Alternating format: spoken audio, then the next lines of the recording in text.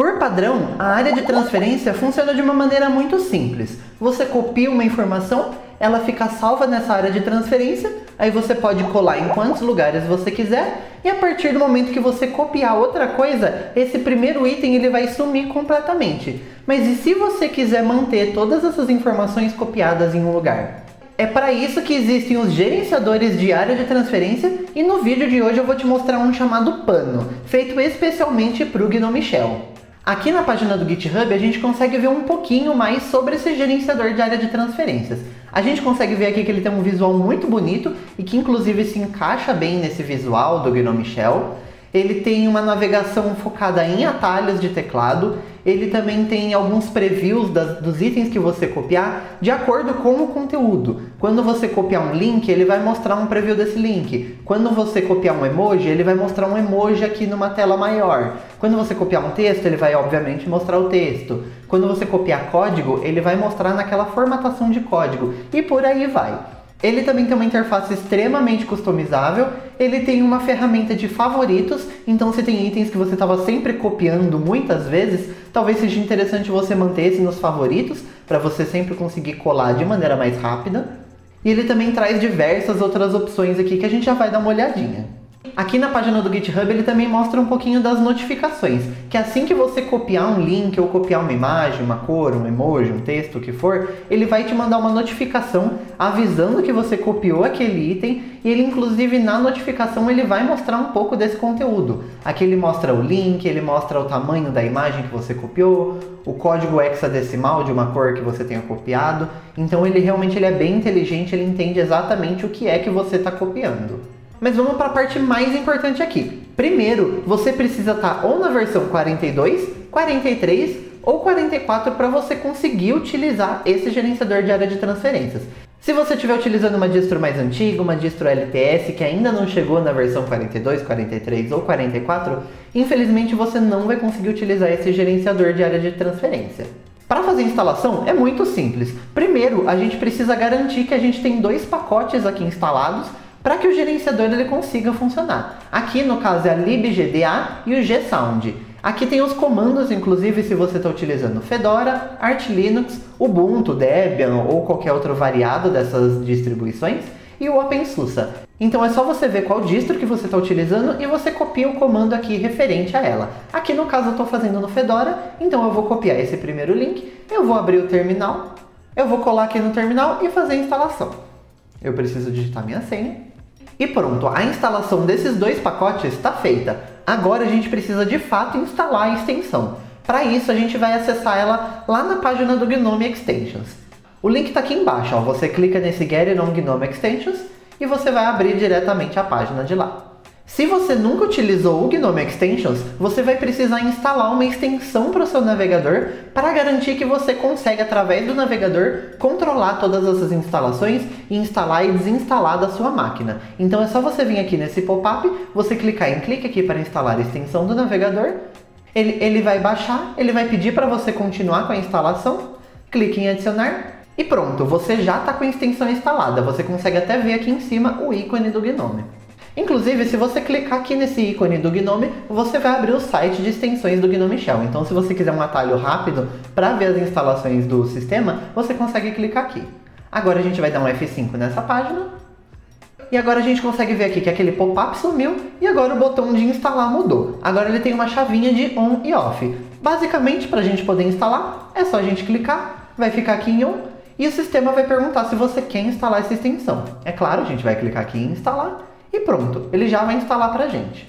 Aqui, inclusive, por conta dessa extensão que a gente instalou no Firefox, a gente consegue vir aqui em extensões instaladas e a gente consegue ver todas as extensões que estão disponíveis no nosso computador. Então, se você quiser baixar outra, se você quiser desativar alguma, se você quiser atualizar, ativar outra, você consegue fazer aqui diretamente do navegador também. Com a instalação feita, vamos voltar aqui no GitHub rapidinho só para a gente conseguir ver quais são esses atalhos de teclado que essa extensão usa. Aqui o primeiro atalho é o Super Shift V. Esse atalho ele vai alterar a visibilidade do pano, então você vai conseguir ativar ou desativar esse gerenciador. A gente consegue fazer um teste aqui, a gente aperta Super Shift V e a gente consegue ver que o gerenciador já está aparecendo aqui. Só que é claro, como a gente ainda não copiou nada para o sistema, ele está vazio aqui. Inclusive, vamos aproveitar e já copiar esse texto aqui para a gente ver se está funcionando certinho. Ó, a gente consegue ver aqui, ó, texto copiado, Super Shift V, can be used, exatamente o texto que a gente copiou. Então a gente aperta de novo, Super Shift V, e ele já está aqui embaixo. Ó.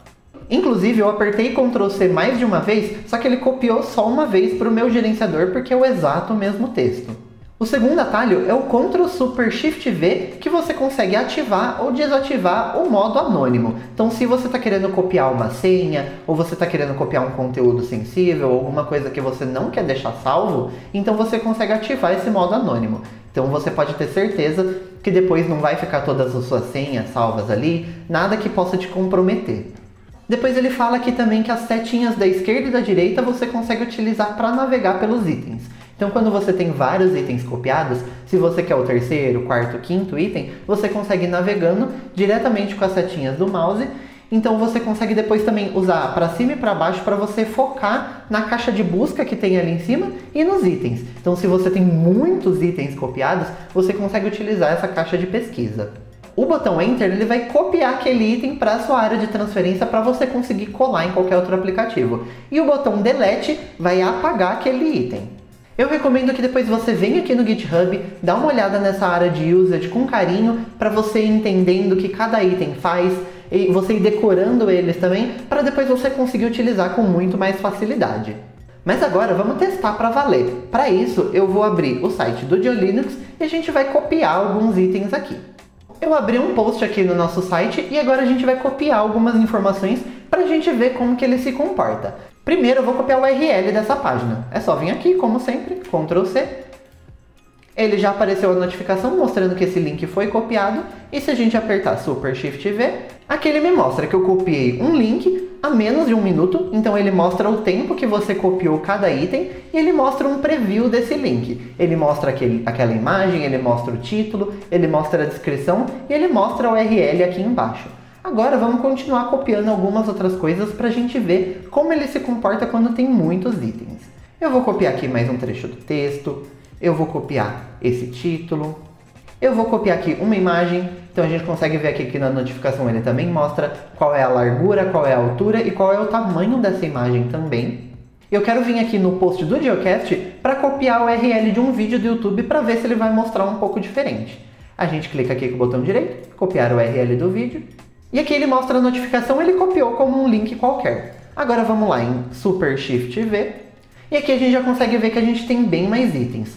Os textos ele copia normalmente, a imagem aqui ele mostra aquelas mesmas informações que estavam na notificação, então ele mostra exatamente qual é a resolução, qual é o tamanho e exatamente qual é a imagem. E aqui os links do YouTube ele mostra como um link normal, ele não tem nenhum tipo de visualização específica para o YouTube. Aqui em cima no canto superior direito, a gente também tem um ícone para poder ativar e desativar o pano. Então se você preferir utilizar ele só com o mouse, você consegue clicar aqui para ativar e desativar, você consegue selecionar qualquer um desses itens com o mouse e você consegue clicar aqui na caixinha de busca. Então, por exemplo, se eu quiser pesquisar por internet, ele vai me mostrar os dois textos que tem aqui escrito internet. Eu venho aqui, clico, ele copiou o texto, eu consigo vir aqui em qualquer outro lugar, colar e pronto, eu colei esse texto. Mas lá na página do GitHub, ele diz que ele é extremamente customizável. Então vamos dar uma olhada nas opções que ele tem para poder alterar. Para isso, a gente pode vir aqui na página do Gnome Extensions, ou a gente consegue usar aquela aplicação Extensions, que a gente consegue acessar todas as extensões do sistema, para poder acessar essa aba de configurações. A gente clica aqui em extensões instaladas, a gente vem aqui em pano, Clipboard Manager, e tem esse botãozinho aqui das ferramentas onde a gente consegue clicar para configurar essa extensão. Clicando ele vai abrir essa janela onde a gente pode mexer em todas as configurações. A gente consegue ver aqui que ele tem três abas, uma aba de geral, uma de customização e uma de zona de perigo. Então vamos dar uma olhada em cada uma delas com carinho. A primeira opção aqui é a localização do banco de dados. Então todos esses itens que você está copiando, ele está salvando na sua máquina de maneira local em um banco de dados.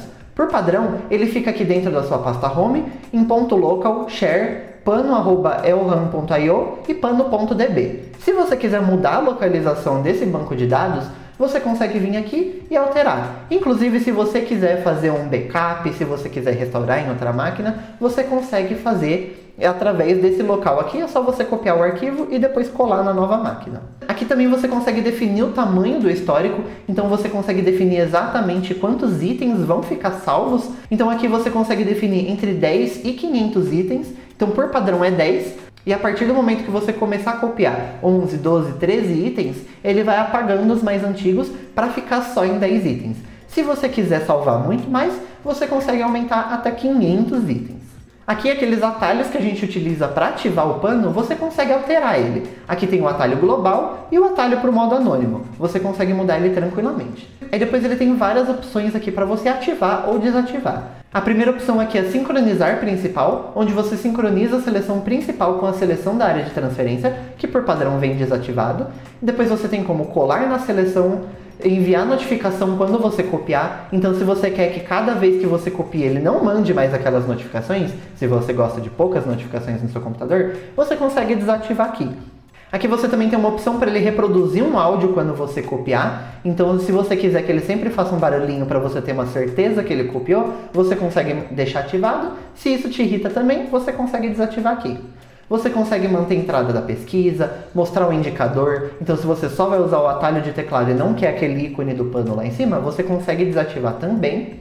Você tem visualização de links. Então, se você quiser ou não visualizar aqueles links lá no pano, você consegue ativar e desativar. Tem a opção de você abrir os links no navegador. Então, se você clicar naqueles links, ele vai abrir no seu navegador principal. E por último, tem uma opção de observar exclusões. Isso aqui, inclusive, eu acho muito importante você deixar ativado, porque quando você ativa, ele não vai copiar itens de determinados aplicativos que você definir. Então, aqui no caso, por padrão, ele mostra inclusive o Bitwarden, o OnePassword, o KeePass, o Secrets e o Gnome Word Secrets. Então, quando você estiver utilizando o OnePassword, o seu gerenciador de senhas, você copiando uma senha lá, ele não vai copiar para o pano. Então, você tem a garantia que você não vai ter aquele monte de senha exposta ali de maneira não criptografada no seu gerenciador de área de transferências. Inclusive, se você utiliza um outro aplicativo aqui, onde você copia e cola senhas, se você tem um outro gerenciador de senhas que não está aqui, você consegue adicionar ele aqui. Na realidade, você consegue adicionar qualquer outro aplicativo aqui, você consegue colocar o WhatsApp, o Telegram, qualquer coisa, mas é mais importante que você adicione aqui só realmente esses aplicativos onde você vai copiar informações muito sensíveis. Depois a gente tem a aba de customização, onde a gente consegue mudar totalmente o visual do pano. Aqui, basicamente, a gente consegue mudar a altura daquela janela, a gente consegue mudar a cor de fundo da janela, a cor de fundo do modo anônimo. Então, se você quiser deixar uma cor completamente diferente para ficar bem destacado que você está no modo anônimo, você consegue fazer isso. Você consegue mudar a cor da borda do item ativo, que por padrão é azul, mas sei lá, se você está utilizando um tema todo verde, laranja, amarelo, a cor que for, você consegue mudar aqui também para combinar com essa cor. E você também consegue mudar a cor da borda do item onde você está com o mouse por cima. Depois aqui embaixo você consegue mudar o estilo de cada tipo de item diferente. Então a gente consegue ver aqui no pano que, por exemplo, imagem tem aquele fundo vermelho, o link tem um fundo azul claro, o texto tem um fundo azul escuro e cada tipo de item vai ter um estilo diferente. Então você consegue vir aqui em item por item e mudar completamente o estilo. Você consegue mudar a cor de fundo, a cor do texto, a fonte, o tamanho da fonte, então você consegue customizar exatamente do jeitinho que você quiser. Se você quiser, por exemplo, que todos eles tenham a mesma cor para ficar mais coisa, você consegue fazer isso aqui. Ou se você, tipo, por exemplo, você não gosta de vermelho, você quer mudar o vermelho para amarelo, você pode fazer isso também, fica à vontade. Por último, a gente tem aqui o Zona de Perigo, que como o próprio nome sugere, esses itens aqui você tem que tomar muito cuidado na hora de você selecionar eles. O primeiro item aqui é o modo somente sessão. Então, se você quiser que cada vez que você encerre a sessão, reinicie o computador ou desligue o computador, ele apague completamente os itens que estão no seu histórico, é só você vir e ativar aqui.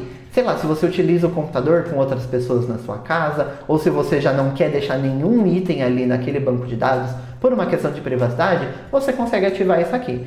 E se você quiser simplesmente limpar todo o histórico sem você precisar ativar esse modo somente exceção, é só você vir aqui no botão, clicar em limpar, ele vai perguntar se você realmente tem certeza que você quer fazer isso, você clica em OK, e agora a gente abrindo aqui, a gente consegue ver que ele apagou tudo. Só que essa ação é irreversível, então tome muito cuidado na hora de fazer isso. E é isso, através dessa extensão você consegue deixar o seu Gnome ainda mais customizado e muito mais produtivo para o seu dia a dia. Inclusive, você reparou que o meu Firefox está completamente diferente? No vídeo aqui do lado eu te ensino a customizar ele completamente. Eu te vejo lá.